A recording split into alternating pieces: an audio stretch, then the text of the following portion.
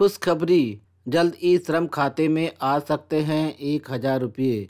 हाल ही में उत्तर प्रदेश सरकार ने ई श्रम पोर्टल के तहत श्रमिकों को पाँच सौ रुपया महीना देने का ऐलान किया था। पिछले महीने सरकार ने इस स्कीम के तहत एक हज़ार रुपये की राशि, करीब दो करोड़ श्रमिकों के खाते में ट्रांसफ़र की थी। चलिए आज हम आपको बताते हैं कि इसकी अगली किस्त कब तक आपके खाते में ट्रांसफ़र हो सकती है।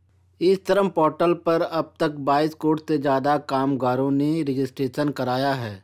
वहीं यूपी में रजिस्ट्रेशन कराने वालों की संख्या करीब आठ करोड़ हो गई है।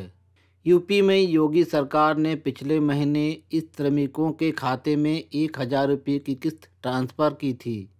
इस श्रम पोर्टल के तहत रजिस्ट्रेशन कराने वालों को कुल दो हज़ार रुपये भत्ता दिया जाना था, लेकिन अभी तक एक हज़ार रुपये ही ट्रांसफ़र किए गए हैं। जल्द ही सरकार इसके बकाया एक हज़ार रुपये भी लोगों के खाते में ट्रांसफ़र कर देगी।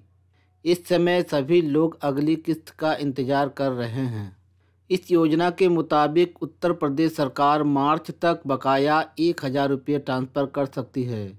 यानी होली तक आपके खाते में एक हज़ार रुपये ट्रांसफ़र किए जा सकते हैं। इस समय विधानसभा चुनाव की वजह से आचार संहिता लगी हुई है। तो अब जिसकी भी अगली सरकार बनेगी, वह इस पैसे को ट्रांसफ़र कर देगी। इस योजना के तहत रजिस्ट्रेशन कराने के लिए आपको अपने फ़ोन में ई श्रम मोबाइल एप्लीकेशन पर जाना होगा, या फिर आप इसकी ऑफिशियल वेबसाइट पर भी विज़िट कर सकते हैं। इसके अलावा आप कॉमन सर्विस सेंटर, स्टेट सेवा केंद्र, या फिर पोस्ट ऑफ़िस के डिजिटल सेवा केंद्रों पर संपर्क कर सकते हैं।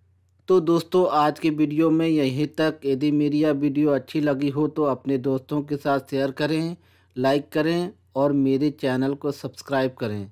Thanks for watching